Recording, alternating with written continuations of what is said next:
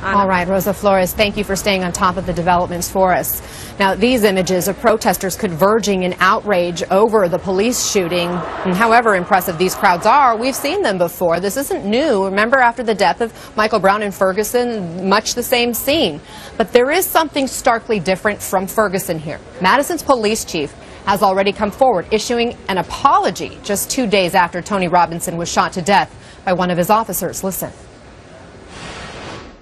All I can do is what I think is right, and that is when information is made known, there's no sense in deflecting it or redirecting it.